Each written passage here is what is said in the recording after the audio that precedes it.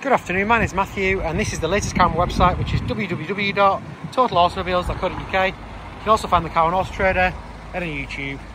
I just thought I'd do a quick video on this car, just showing a bit more detail. Pictures really don't do it justice.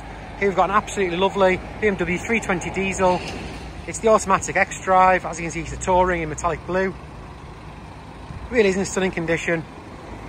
I know this car very, very well because I plan to use it for about a week until my new car arrived, but it didn't arrive so I've actually used this car for the last five or six months. I've done nearly 6,000 miles in it and I've been all over the country. Drives amazingly well. I can definitely vouch for it. It's got all the nice extras. It's got full BMW service history. The previous keeper's actually been in touch with me um, very kindly.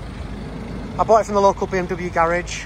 He bought a brand new BMW he said he regrets selling the car and he only sold it because it wasn't ULEZ, he wasn't ULEZ 6.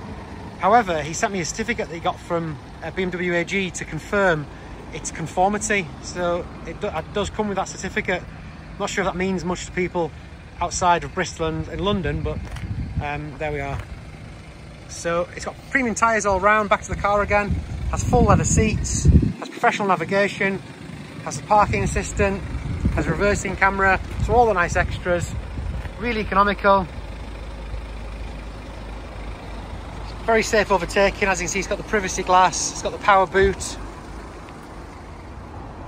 Lots of space for a family. Everything's in great condition as you can see. Inside the car, it's just as nice. No real wear that you'd expect, especially with the mileage, but it's covered 120,334, but you really never think it. Air conditioning is lovely and cold.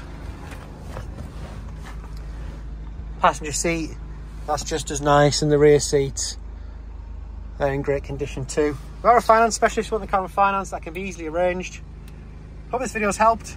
Got any questions, please give me a call, the number below, or simply drop me an email. But thank you very much for watching.